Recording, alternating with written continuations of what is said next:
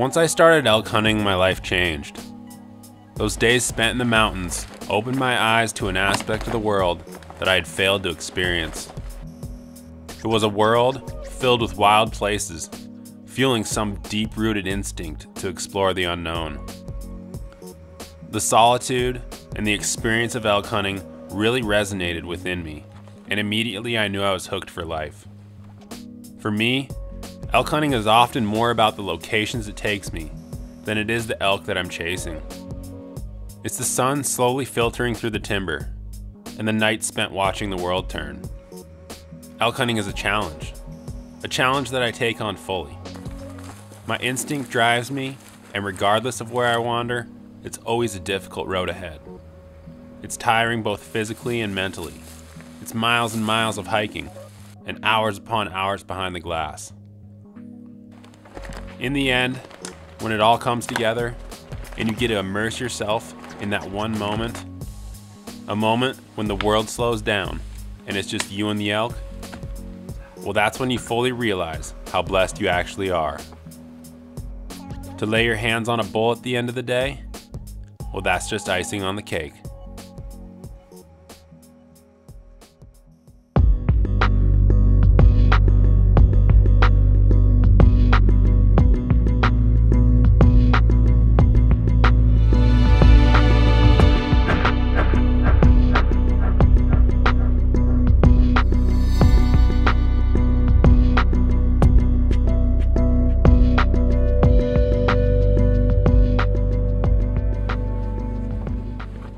Year, our elk season started in the Missouri Breaks. We arrived three days early to scout and hopefully get a beat on a few mature bulls for opening day. After the 600 mile drive east, we pulled into an area we had found on Google Earth, expecting the best.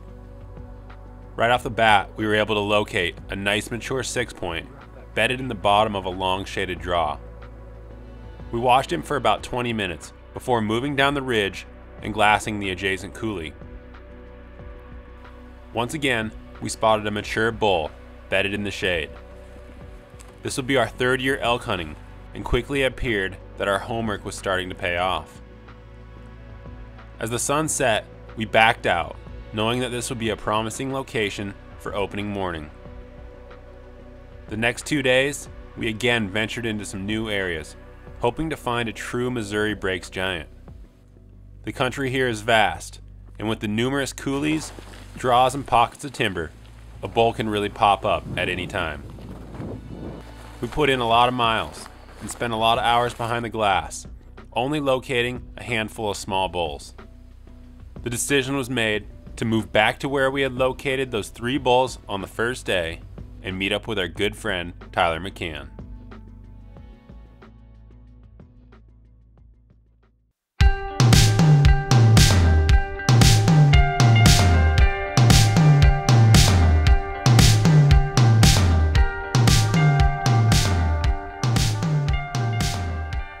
Opening morning found us pinned on top of a bluff.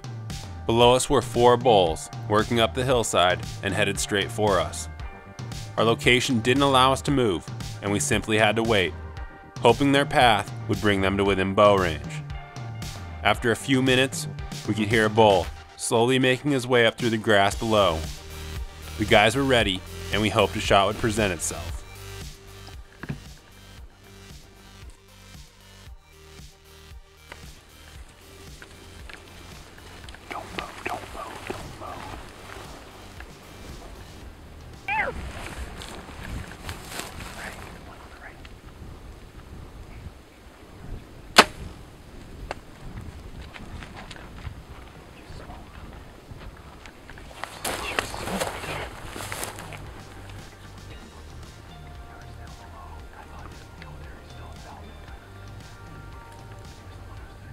All I saw was tips. The biggest bull we didn't even see to begin with was straight velvet. And he came up and I drew back and I held my draw for the longest time. But the second I drew back and I was holding there, he lifted his head and looked right at me. They busted out down below and rest is history. Got a second shot on another bull, took it, and uh, hopefully we can go find my bull now.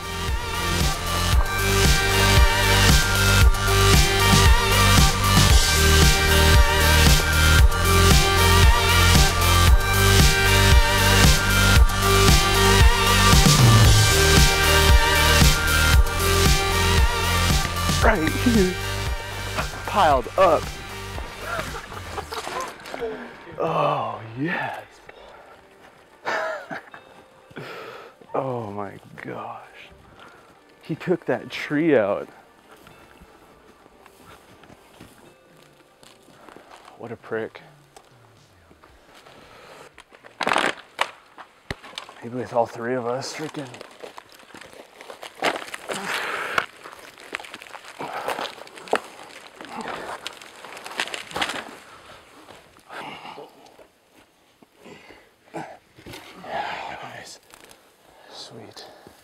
Loving every minute of it. First bowl 2012, opening morning, 645. It's pretty cool, man.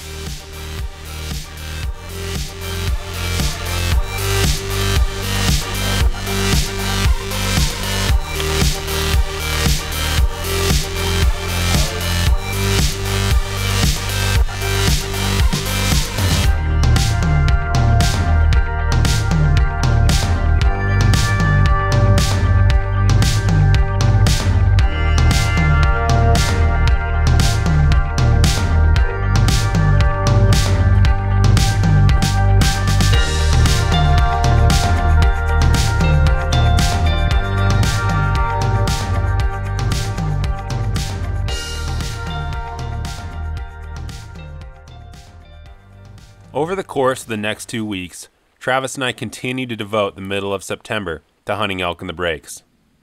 The sun rarely gave us a break, and daily temperatures often soared into the 90s, forcing the elk to be active in only the first couple hours after dawn and before dark. Regardless, we got to see a lot of bulls and put on multiple stalks, but the difference between getting close and letting an arrow fly seemed to be monumental.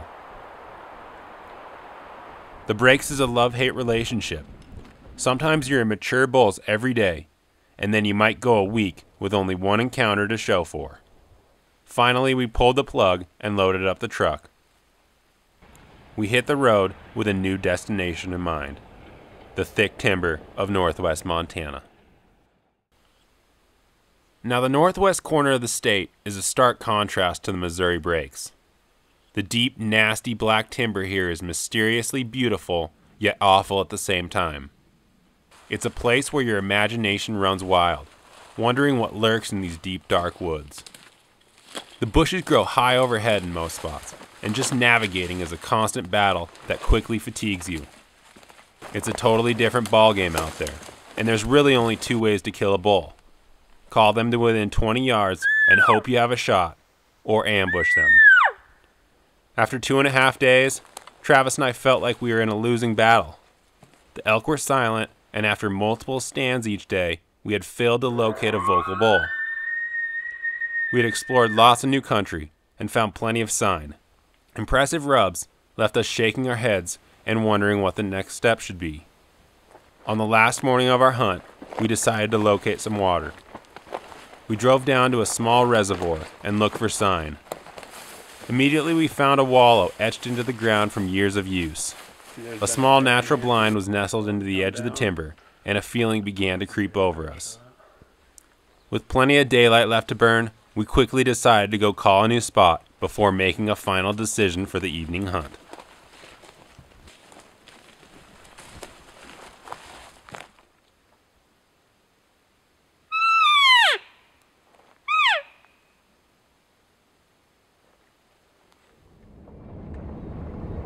Earlier today, we checked out a new spot, kind of cruised around for about an hour, and now we're back in the truck. We're heading back to that wallow we found earlier today. It's right on the side of this reservoir, and it's definitely been getting hit by the elk. Saw some bear tracks in there, and I got a few tags in the pocket, so we're crossing our fingers that tonight something's gonna walk out and hopefully give me a shot. So it's gonna be an interesting sit elk are really quiet right now, so we're just gonna mix it up, see if something like this will work for us.